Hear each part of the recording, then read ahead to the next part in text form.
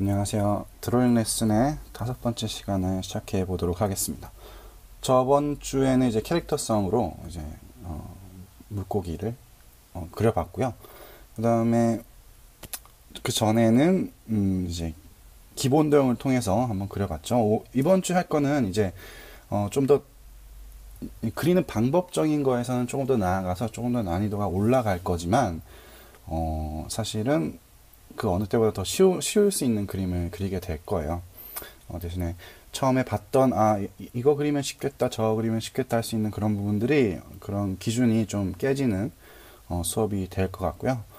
어, 이제 새를 통해서 그리고 또 거북이를 통해서 그림을 그려볼 건데 패턴이라는 게 있어요. 패턴이라는 거는 패턴이라는 거는 뭐냐면은 자연물의 패턴도 그렇고 디자인 뭐 자연물 그 다음에 디자인 모든 게 이제 패턴으로 이루어져 있다고 할 수 있거든요. 어떻게 보면 캐릭터성 같은 경우도 패턴으로 되어 있는 거죠. 패턴으로 되어 있기 때문에 어 이제 사람들이 이게 종으로 인식하고 아니면은 다른 어떤 걸로 인식을 해서 뭐 이렇게 그거를 대상으로 관찰해서 표현하기도 하고 어 이제 패턴 같은 경우는 근데 대신에 아름다움을 느끼게 해주는 조건에 굉장히 중요한 역할을 하게 되는데 근데 뭘 어떻게 하면 아름다운 어 아름답게 그림이든 뭐든 느끼게 할까 이런 부분에 대해서 한번 짚고 넘어가야 되거든요. 근데 아름다움이란 거는 어떻게 보면 음 정답은 없을 수 있겠죠. 정말 세상에 다양한 굉장히 아름답다고 느낄 만한 뭐 패션, 건축, 디자인, 뭐 그림, 어 뭐 영화 여러, 너무너무 많죠. 음악도 마찬가지고. 근데 그 부분 중에서는 어 이제 여러 가지 이론이 있을 수 있는데 저는 제가 다큐멘터리 같은 걸 봤는데 음 어떤 주로 어떤 내용이었냐면요. 숲이 울창한 예를 들어서 뭐 그림도 그리면서 한번 설명드리면 숲이 막 울창하게 있는 나무도 있고 뭐 이렇게 산이 이렇게 있고 강이 이렇게 있어서 뭐 여기 뭐 돌도 있고 뭐도 있고 이런 이런 자연 경관이 아름다운 이런 곳에서 사는 사람과 이렇게 살았던 사람과 여기 있던 사, 어, 살던 사람을 또 이렇게 사막 지대에 뭐 이렇게 사막이 다양하게 있는 더운 지방에 이렇게 있는 사람들 있죠. 여기 보면 선인장도 하나 그려놓고. 그 이런 곳에 있는 어, 사람이나 각자 이제 여기 사는 사람을 요, 여기로 데려가고 여기 있는 사람을 여기로 데려갔을 때 서로 처음 보는 광경이지만 이제 아름답다고 느낄 수 있다는 그런 건데 왜 아름답게 느낄 수 있는 건가? 이렇게 똑같이 처음 본 광경이지만 자연물을 보고 아름답게 느끼고 어떠한 뭐 어떠한 음, 또 다른 곳에 가서 어, 산악지대든 어디든 뭐 여러 가지 환경들이 다 다르잖아요. 그렇지만 아름답다고 느끼는 요건 중에 하나가 이제 공통적으로 있다는 어, 것으로 이제 출발을 하게 되는데 거기에 이제 가장 중요하게 어, 이제 생각되는 부분이 바로 패턴이라는 거죠. 패턴이란 게 이제 그 반복되는 아름다움인데 이게 뭐냐면은 어, 그림을 그릴 때 이 부분을 잘 살리게 되면 아름답게 느끼게 해주 상대방을 아름답게 느끼게 해주는데 굉장히 어, 효과적인 역할을 할 수가 있어요. 아름답게 반복이 된다는 건 사실 그림에 있어서는 조금 쉽게 얘기하면은 되게 소위 말해서 굉장히 quality가 높은 뭐 손이 많이 간 아, 뭐 진짜 이거 와, 이 사람 이거 어떻게 그렸을까? 진짜 이거 그리는데 시간 많이 걸렸겠다. 이런 그림들이 있잖아요. 뭐 어떤 사람의 얼굴 그렸을 때 머리카락을 다 그린다든지 아니면은 어, 수염을 하나하나 다 그린다든지 어, 눈동자의 홍채를 다 이렇게 표현한다든지 굉장히 아름다운 표현들이 있는데 이런 디테일한 것들. 야 이거 굉장히 이거 어떻게 했을까? 정말 힘들었겠다 할 만한 것들의 사람들이 아름다움을 느끼게 된다는 거죠.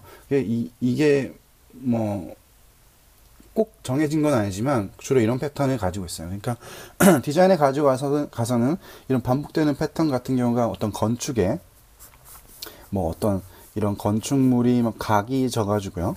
여기 이제 이런 건축물이 있으면은 여기 이제 어 어떤 패턴 이루는 뭐 유리창이라든지 이런 부분에서 빛이 반사되고 이런 질감 같은 경우 그런 거에도 굉장히 아름다움을 많이 느끼게 되죠. 어, 그리고 디테일, 이런 것들을 디테일이라고, 디테일이라고 할 수가 있는데, 그런 패턴이 움직이는, 패턴을 가지고 있는 이런 디테일들을 잡아서, 어, 표현을 하게 되면, 사람들이 아름답다고 훨씬 많이 느끼게 된다는 거죠. 옛날에 보면은, 미술학원 같은 경우, 그, 왜 미술학원에서는 그런 것을 하죠. 정기적으로 이제 학생들이나 선생님들이 연구작을 그려가지고, 그 앞에다 이제 전시해놓고, 어, 홍보 같은 거죠. 홍보를 하게 되는데 거기서 어린 친구들이 주로 그림을 처음 그리시는 분들도 마찬가지일 거예요. 어떤 그리는 대상을 정할 때, 어, 아, 너무 복잡한 그리기 어렵지 않을까? 이렇게 생각 들어서 정말 뽀사시한 연예인들, 이렇게 뭐 얼굴이 있고, 진짜 조명을 해서 막 눈, 코, 입만 보이는, 뭐 이런 눈, 코, 입만 겨우 보이는 이런 대상의 사진을 가지고 그림을 시작하게 된, 되게 되는데 보통 이렇게 그릴 게 별거 없는 것 같은 그림 있죠. 그러니까 그런 부분, 그런 것들이 훨씬, 훨씬 그리기가 어려워요. 왜냐면은 이런 그릴 게 별거 없어 보이는 그림들을 그리게 되면 사람들의 시선 자체가 뭐냐면 이 머리카락 한 올의 표현의 세련, 세련됨과 뭐 눈동자 하나의 형태의 정확함 그리고 어, 결국에는 면으로 표현되는 그런 입체 같은 부분들도 굉장히 중요한 부분이기 때문에 그림을 그리실 때 그런 것들이 여과 없이 그냥 바로 보이게 되는 거죠. 바로 눈, 코, 입. 그리고 그리는 입장에서도 이런, 어, 그 어떠한 구조에 대한 빛 같은 것들이 전면에서 빛을 때리고 있어가지고 이게 명암이 크게 지지 않아서 굉장히 뽀사시한 시각적으로 이쁜 그림, 이쁜 사진이지만 그림을 그릴 때는 오히려 이런 이런 구조나 이런 것들이 잘 안 보이기 때문에 얼마큼 익숙하고 음, 손에 익지 않은 이상은 어, 이런 것들을 표현하기 어렵게 되고 그렇기 때문에 이런 그림을 그리게 되면은 오히려 더 힘들어요. 훨씬 힘들게 되죠. 근데 음, 반대로 야 진짜 이거 이거 어떻게 그리지? 아, 너무 그릴 거 많다. 뭔가 표현할 게 너무 너무 많아 보이는 그런 그림들을 오히려 그리게 되면 이제 거기 반복되는 것들. 그러니까 대신에 반복되는 것들을 그리게 되면 시, 물리적인 시간은 굉장히 오래 걸릴 수가 있게 되겠죠. 그, 어, 왜냐면 나무 숲을 그릴 때도 숲 자체가, 어, 어마어마하게 많은 나뭇잎 같은 걸 가지고 있기 때문에 그걸 다 그리든지 아니면 효과적으로 표현하든지 간에 이런 부분들이 어, 그려줘야지만이 이제 그 효과를 가져오게 되는 거거든요.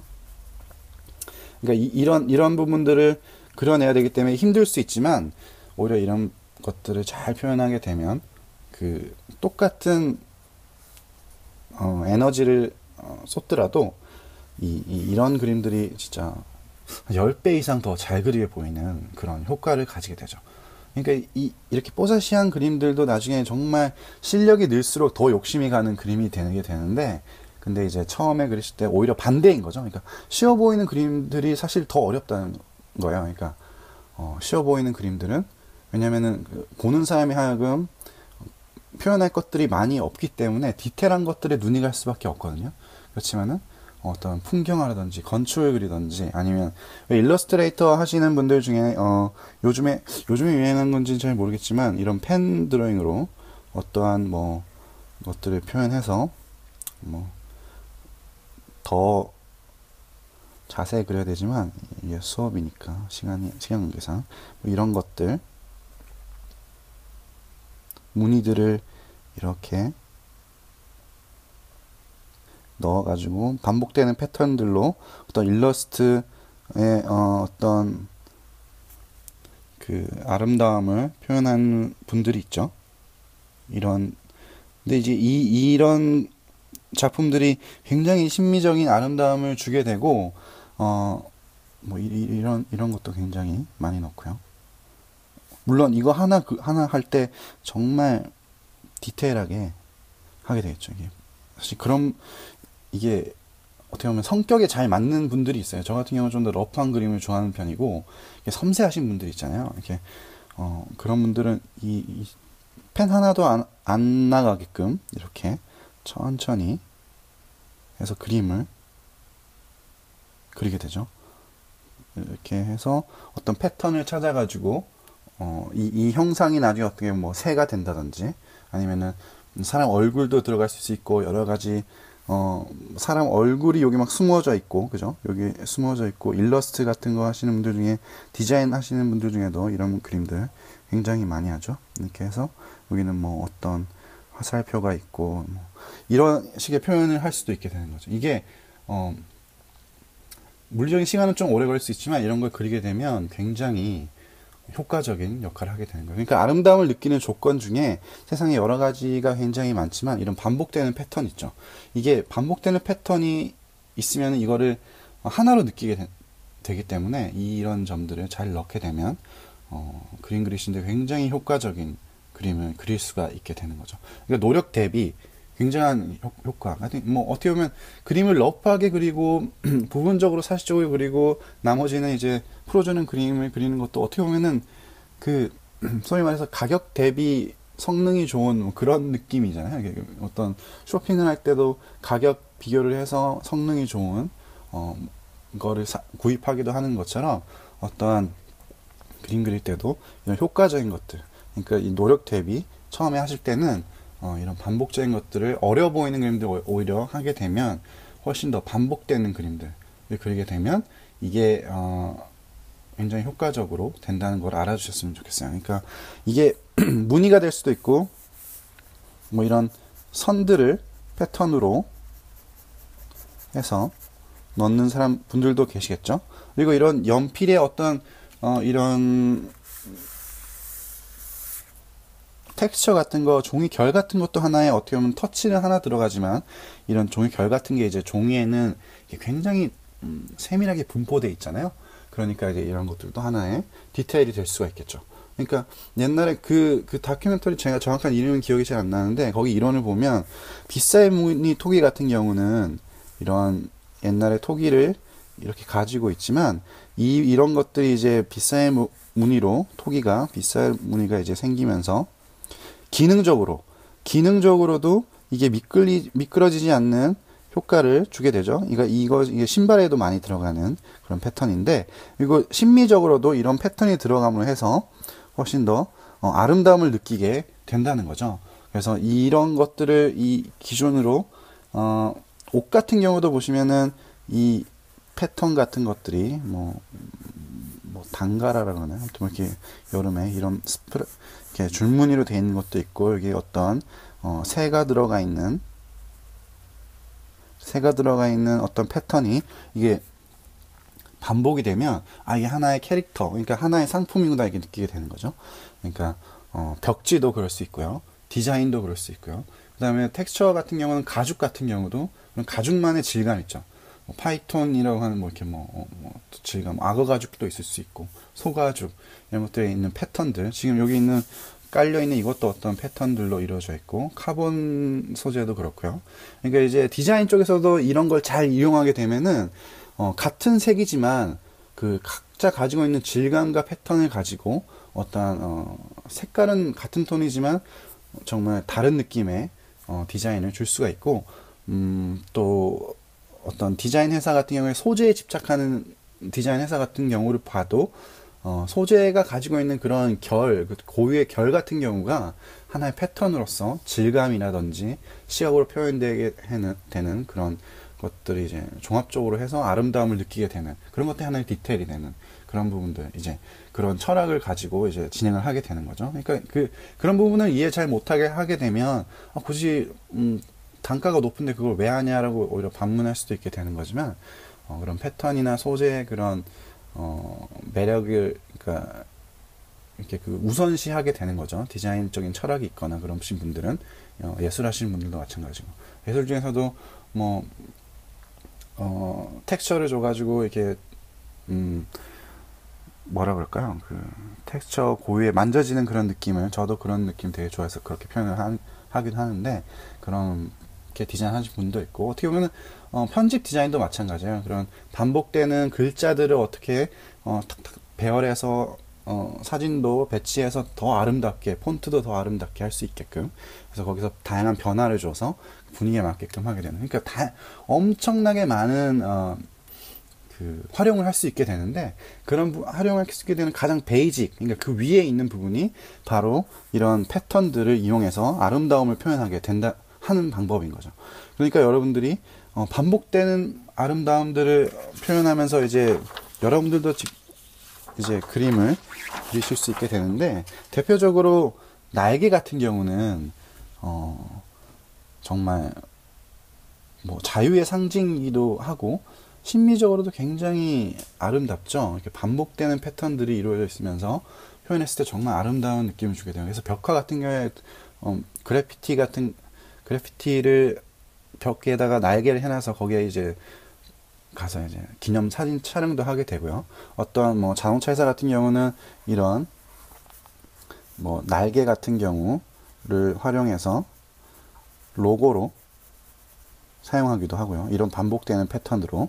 이건 뭐 자동차도 있고 어, 신발도 있죠. 신발에도 이런 날개 같은 부분들이 굉장히 활용이 많이 되고 있고, 음, 어떻게 보면 이런 반복되는 패턴 중에 가장 신미성을 보이고 친근하게 다가갈 수 있는 게 그리고 뭔가 날고 싶은 갈망, 그런 사람의 꿈 같은 거에 담겨 있는 이런 것들이 어떤 날개이기 때문에 굉장히 많이 쓰이는 소재예요. 그러니까 이런 날개를 한번 표현해 보시면은 여러분들이 어, 그림을 그리는데 굉장히 도움이 많이 될 거라고 믿어 의심치 않게 되는 거죠. 그러니까 그림을 그리실 때 어떤 대상을 정할 때 결국에는 그림을 그리는 스킬 같은 거 중요하지만 이건 물리적인 시간이 필요하게 되는 거거든요.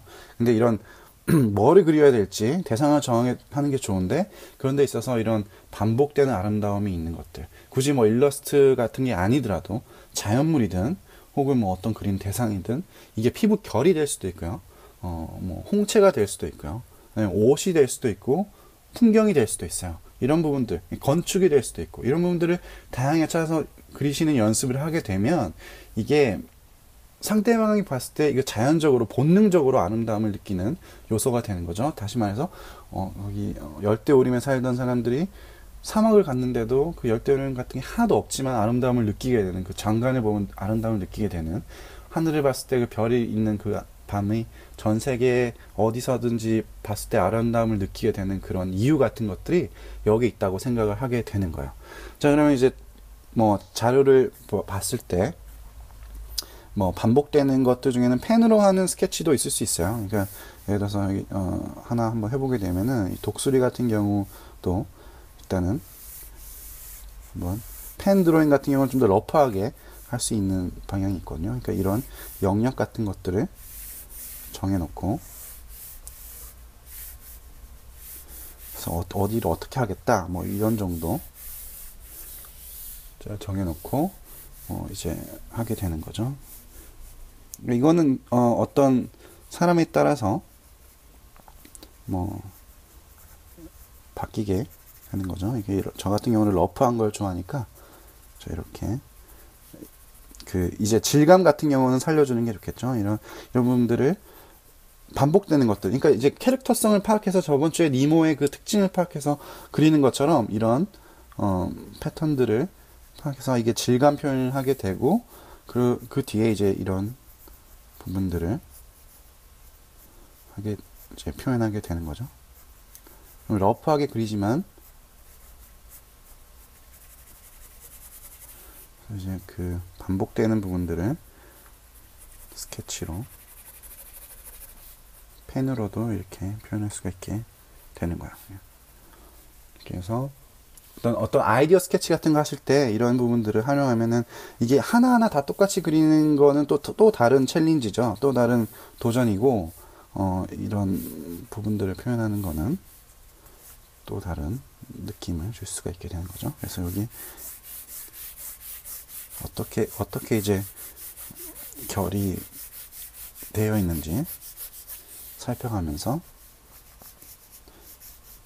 그러니까 이제 나중에 어, 아이디어 스케치를 하시던 어, 디자인 하시는 분들 아니면은 어떤 대상을 하시던 에스키스 같은 거를 하시던지 이런 러프한 것들이 이런 아이디어가 이제 무의식 속으로 사라지기 전에 어, 이런 부분들을 이렇게 이렇게.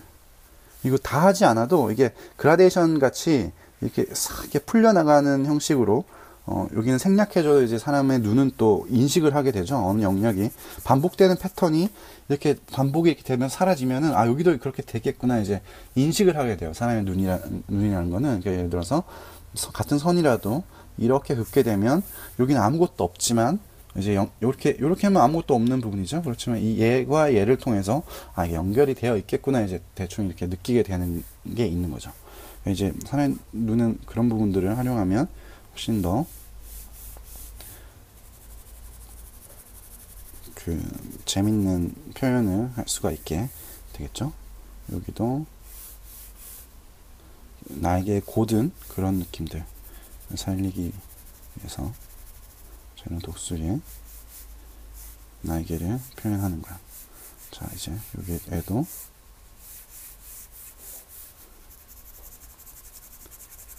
이것도 이제 깃털의 결을 따라서 하게 되는 거죠. 이런 형식의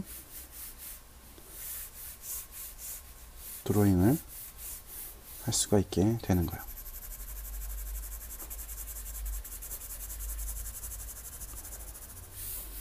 자, 이제 이뭐 사실 근데 이, 이 스케치하는 선들 이런 것들이 오히려 더 하고 싶어지는 부분인데 이건 여러분들의 여러분들이 나중에 시간이 지나면은 충분히 어, 그리실 수가 있게 되는 거예요. 그러니까 연습 첫 번째 시간 했던 선 연습 있죠. 그런 것들도 많이 하셔가지고 표현하시는 게 좋죠. 만약에 중급반에서도 한 번 더 다루게 된다면은 훨씬 더 디테일한 부분들을 어, 다루게 될 거지만 이 부분만 하더라도 어, 충분히 그림을 그리는 데는 어, 무리가 없어요.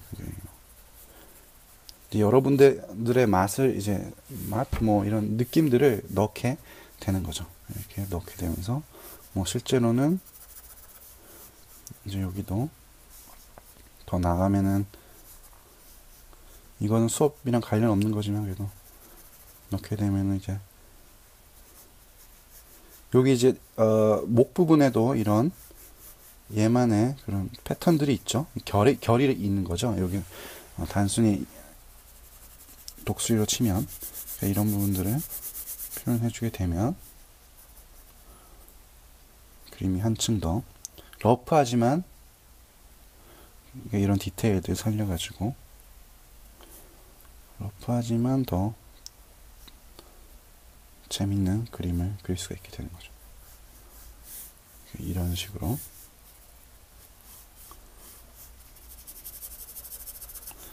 이제 이, 명언 같은 걸 표현해 주면서요. 이그 멋있는 독수리, 독수리, 독수리라는 게 이제 아무래도 새 중에서도 강, 강력한 아이니까 그래서 뭐 굉장히 많이 그리는 소재가 되기도 하죠. 이게 연필로 하는 거냐 이제 펜으로 하는 거냐 또 다르고 느낌이 다 달라져요. 그러니까 그 한번 펜 드로잉도 재밌는 부분이니까 여러분들이 한번 해보시라고 제가 오늘 펜으로 한번 볼펜으로도 상관없고요. 모나이 펜으로도 상관없고 뭐, 러프하게 그리는 거니까 대충 이런 식으로 이제 끝 부분이 이런 결, 결 부분으로 되어 있으니까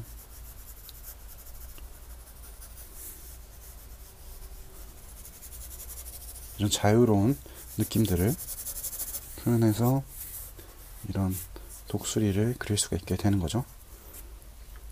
이제 뭐 이렇게 되면 좀더 음, 왜냐면 항상 잘 그려야 되고 잘 그린다는 기준이 이제 뭐 똑같이 그리거나 정말 똑같이 뭐 깃털을 표현해야 되고 이런 거에 중점이 돼 있으면은 이런 거 하나하나 그리는 걸 이게 보면 너무 힘든 작업이 될 수 있기 때문에 너무 이제 짜증나고 힘들 때가 있어요.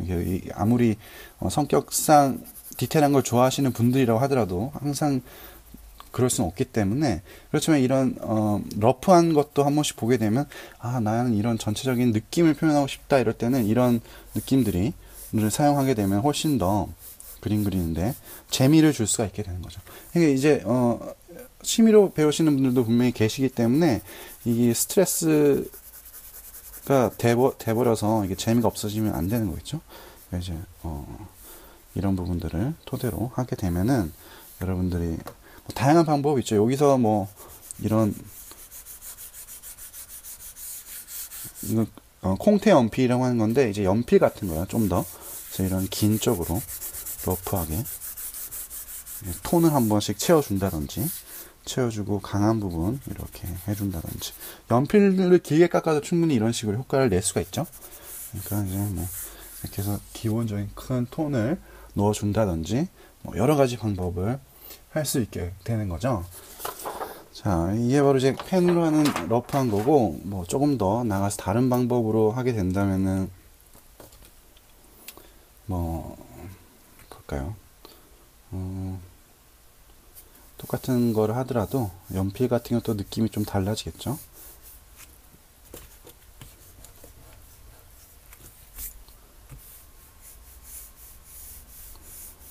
자, 이런 식으로 형태를 잡고, 이제 이거 같은 경우는 지우개질이 가능한 부분이기 때문에 조금 더 형태를 신경 써서,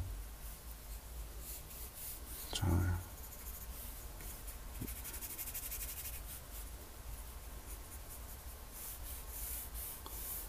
또 영역을 정하는 게 중요하죠. 그 기본 도형으로 친다면 얘는 진짜 정말 긴 삼각형이 될 수도 있고요. 여기 이제 구가 구가 되는 부분들이 들어가는 부분들이 이제 여기 착착착착 이제 쌓여 들어가는 거고 그리고 깃털 같은 경우는 사실 어 펜드로잉 다 펜드로잉은 좀 러프해도 이제 그 소재 특성상 어 이게 그런 거친 맛이 있는데 이거를 부드럽게 표현하려고 하시면은 아무래도 이게 깃털의 털 느낌 때문에 오히려 좀 더 어려울 수 있어요. 그렇지만 한번 이게 또 한 번씩 해보면은 또 재밌을 수 있는 부분이죠. 이, 이것들이 이제 결에 이, 이 얘가 이제 치킨으로 치면은 윙 부분이잖아요. 이렇게 이제 얘가 이제 크게 이렇게 있고 꺾여서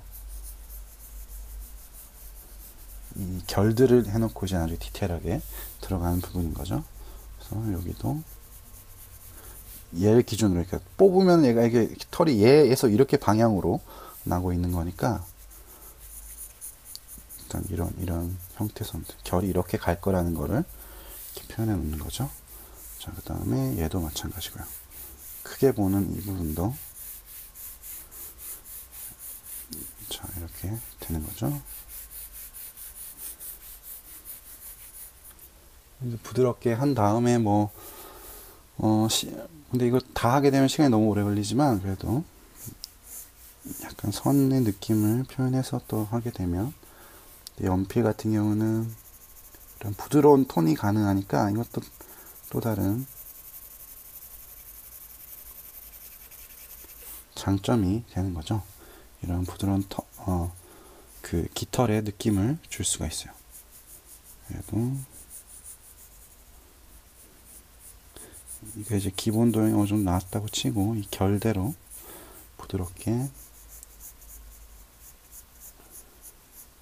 자 이렇게 결을 지키면서 물론 이거 진행하면서 여기 안에 또 손을 봐줘야 되겠죠? 그렇지만 또 잘 안 보이는 부분인 경우에는 이렇게 어둠으로 묶어 놓고 나중에 터치로 넣는 게 더 좋을 수도 있어요. 왜냐면 잘 안 보이기 때문에 표현하다 보면은 이런 부분들이 더 진해지고 얼룩이 질 수 있기 때문에 이건 오히려 더 효과, 효과적이지 못한 경우가 생길 수 있거든요. 자, 이렇게 또, 자연, 역시 깃털도 자연물이다 보니까, 여기 이런, 이런 부분들의 형태도 지그재그죠, 약간. 지그재그 약간씩 달라요.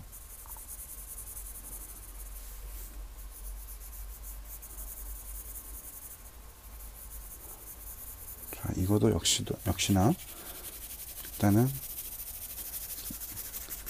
부드럽게 풀어서 넘어가는 느낌을 좀 살리게 되는 거죠. 살리시되 여기 보면은 특징들 있죠. 패턴을 좀 다른 패턴을 보이는 부분들은 잡아주는 게 좋아요. 예를 들어서 뭐 여기 있는 튀어나오는 부분들 그러니까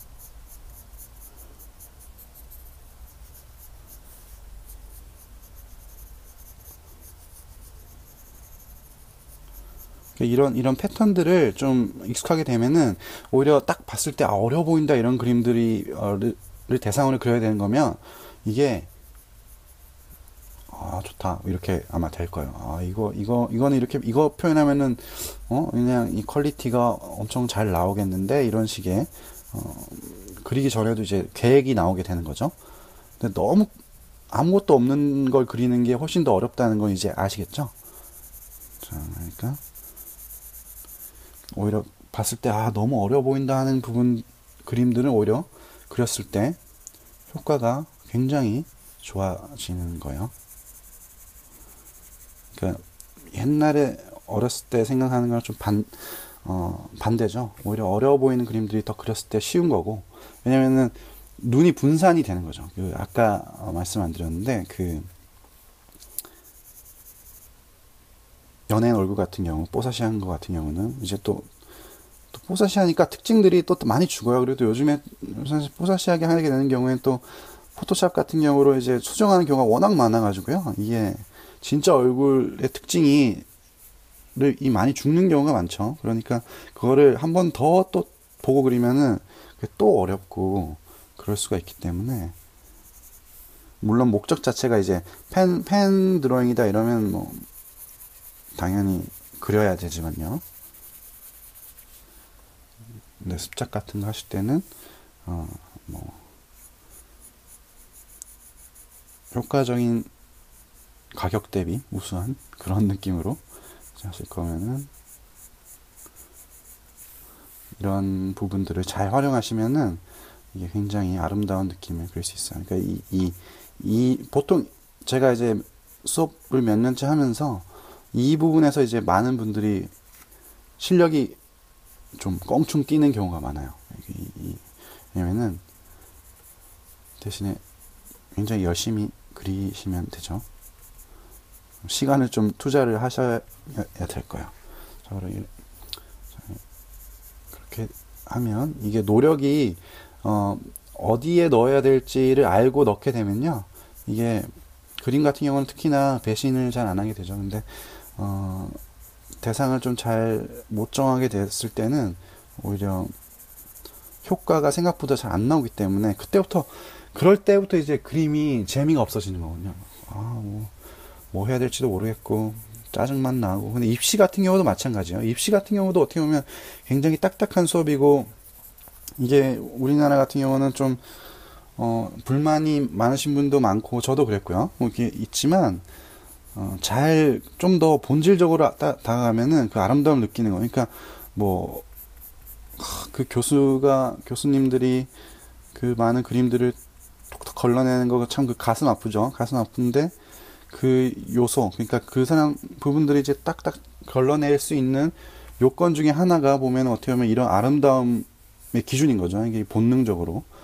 그러니까 그렇기 때문에 기초 부분이 중요한 거고 그렇기 때문에 이런 패턴, 아름다움을 느끼게 하는 조건 같은 경우도 굉장히 중요해지는 거예요. 그러니까 이거는 어 꼭 입시를 암기식으로 너무 외우게 하게 되면 오히려 어려, 어려워지는 부분이라고 할 수 있거든요. 그러니까, 그러니까, 여러분들도 뭐 다른 장르의 어떤 걸 하시던지 이런 부분들을 잘 활용하면 아마 도움이 되지 않을까 생각을 해요. 네, 뭐 세상이 뭐다 자기 마음대로 되는 건 아니지만 적어도 제가 볼 때 아름다움을 느끼는 조건 중에는 이런 부분들이 분명히 들어가 있다고 생각해요. 그런 부분이 있는 상태에서 뭐 시대 상황이나 트렌드 뭐 이런 그 업계 상황에 따라 이제 어, 달라지는 거죠.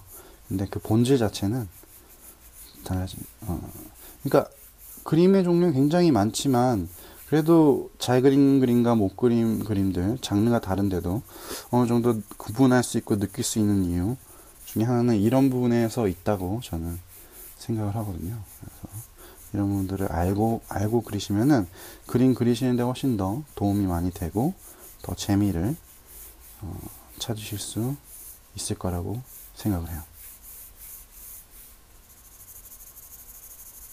자, 그래서 이런 식으로 날개를 표현할 수 있게 되는 거죠. 그 다음에 이것 같은 경우는 이거에 계속되는 반복이죠. 그 반복해서 얼마나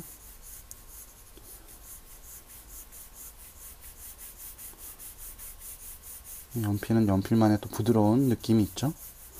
있고 뭐 여기 같은 경우는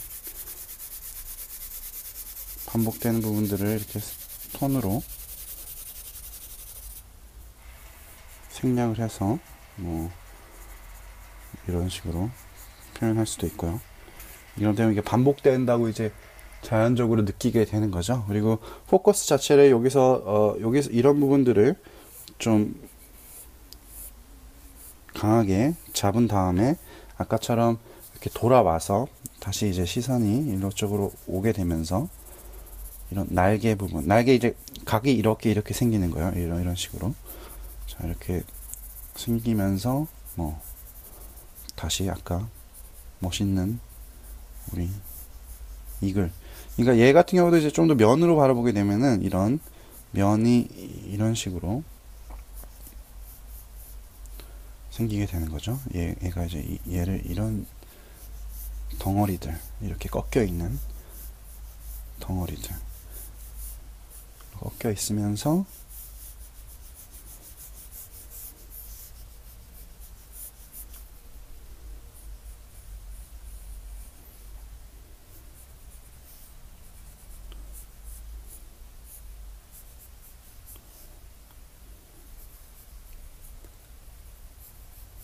이루어지고 있는 거기 때문에 그림을 나중에 좀더더 그리시면서 이런 구조를 알게 되면 그림 그리기 훨씬 더 재밌어지죠. 또 이제 얘들도 강대뼈 같은 게 있고 다 있을 건 다 있어요. 사람이랑 조금 다르긴 하지만 자 이렇게 해서 이런 결들 그러니까 이 구조에 따라서 이렇게 나눠지는 결들 그러니까 얘도 이제 이 구조에 따라서 이쪽 면이 이런 식으로 어, 나오게 되고 이쪽 면이 이렇게 되는 거죠. 그러니까 이거 없이 그냥 막 이렇게 하게 되면 이런 부분이 틀어지게 되면 결의 방향이 틀어지게 되면 이 오히려 더 그림이 음, 어, 찌그러져 있는 뭔가 이게 이게 안 맞는 듯한 느낌으로 되는 경우가 어, 많기 때문에 여러분들이 어, 그림 그리실 때 이런 분, 점들을 잘 활용하면 분명히 도움이 되겠죠. 그래서 이런 부분들을 아, 여러분들이 한번 익혀 보시면은 어, 그림 그리는데 굉장히 도움이 많이 되는 거죠. 이, 그래서 두 번째 시간에 와서 다시 얘를 조금 더 손보고 어, 다음 그림으로 한번 넘어가 보도록 하죠. 이, 제가 연필 같은 경우 수업 시간에 잘 안 쓰는 이유 중에 하나도 이게 빛 때문에 연필 같은 경우는 좀 반사가 되거든요. 흑연 같은 경우는. 그래서 이게 사실 좀 더 진한 형태로 되어 있는 건데 빛을 봐가지고 이게 반사가 되고 있어요. 그렇지만 뭐 감안해 주시고요. 어, 그러면은 돌아와서 음, 두 번째에서는 다른 것들을 보게 그림을 그리면서 여러분들이랑 또 다시 한번 그 패턴에 대해서 아름다움을 느끼는 조건에 대해서 한번 알아보도록 하죠. 그럼 저는 조금 있다가 다시 돌아오도록 하겠습니다.